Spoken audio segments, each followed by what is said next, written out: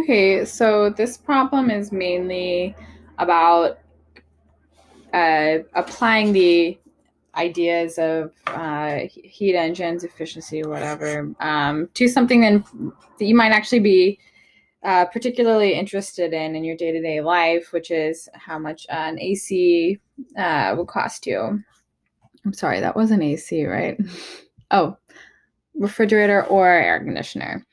Okay, so basically, they, they first part they want you to start out by converting um, the traditional co- coefficient of performance to this EER. Let's see, what does EER stand for again? Energy efficiency ratio. And the big difference between K and EER is um, EER is in units of BTU per um, watt hour. So you have to um, convert them. So that's part A.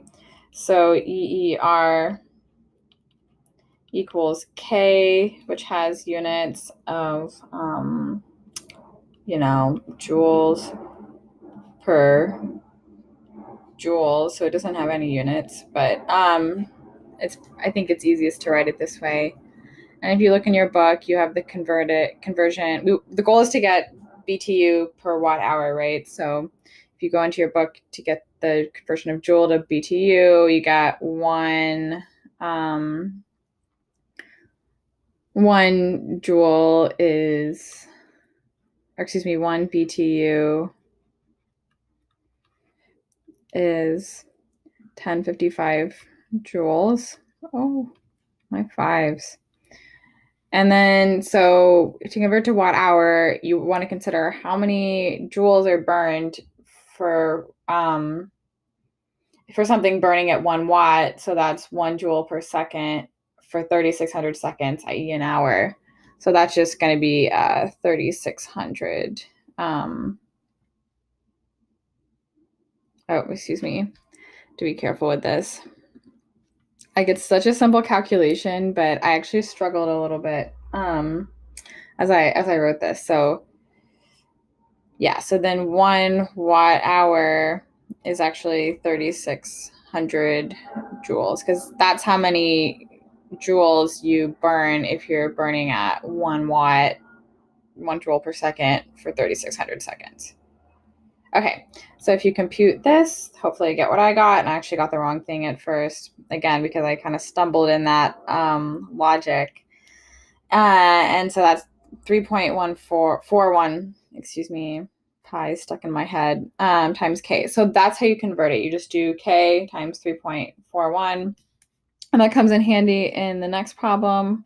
So you need to calculate the EER um, for was it an AC? I think it was not yeah, an AC. Um, that operates between 95 and 80.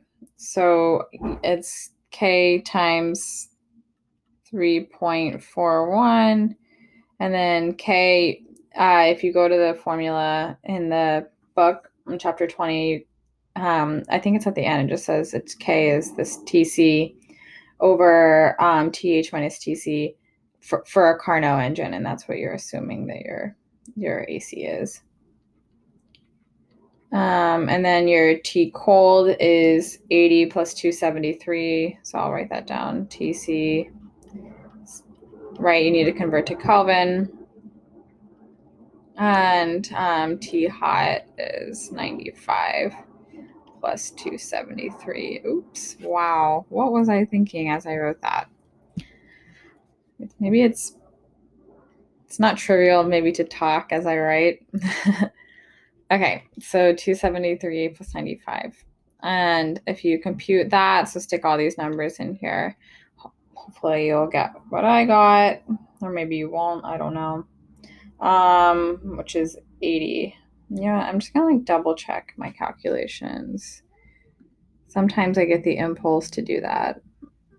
Um, Yes, it's, and it's T cold, right? I'm just to double check the formula too while I'm at it. Yes, it is. Okay, great. My numbers ended up coming out pretty reasonable. Um, so I feel confident in it. Um, okay, so yeah, that's what I got. So now for part C, uh, it's asking for an AC. It's asking for how much it costs to run an AC for a whole year that has an EER of um, 10.9.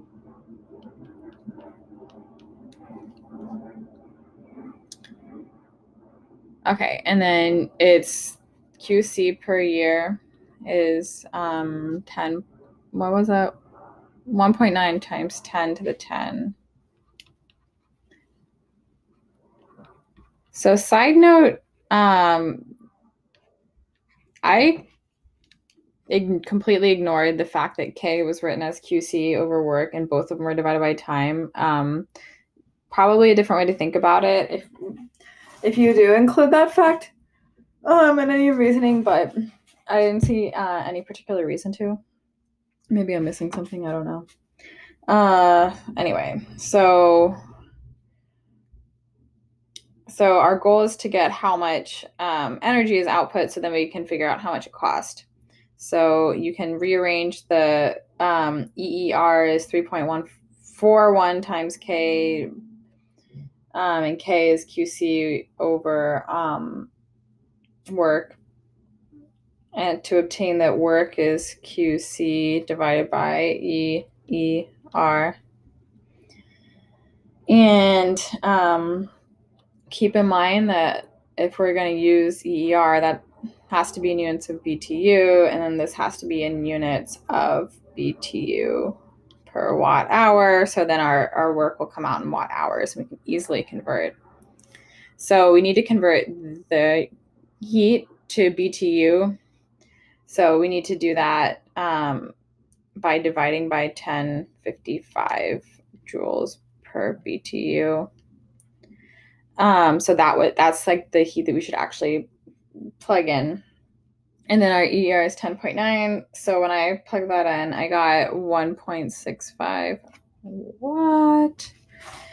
There's like this delay. It punishes me for going fast times 10 to the 6 watt hour. Or maybe it's just that I decrease the pressure of the pen as I if I go fast. That's probably it. Because if I do that, yeah, I guess it pretty accurately, I don't know, drew what I meant.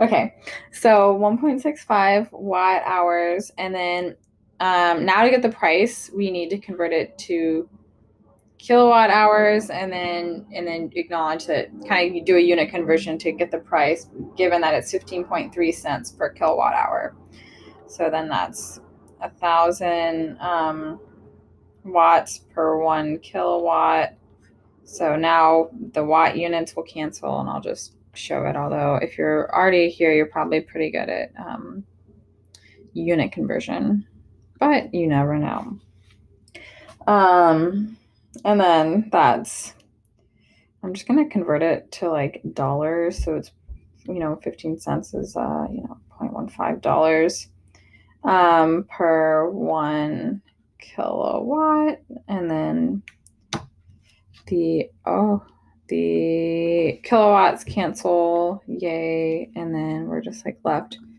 with dollars. So when I computed that, finally brought these numbers down a bit. I got two fifty-two dollars and seventy-nine cents.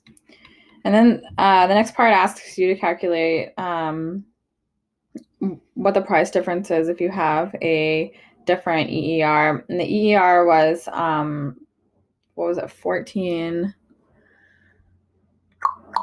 0.6. Okay, so basically they're like, redo the calculation. If EER is 14.6, how much do you save? Um, so I'm not going to write that out. I think it'd be kind of a waste. I'll just kind of clearly, you know, highlight that when you're doing the calculation, um, just switch this out for, this is now 14.6. Um, and when I did that, I got, um, let's see, what did I get? I got $188.73 Um, and so the difference between those two is $64.06. So this is a funny sign. It looks like it could be Illuminati or something.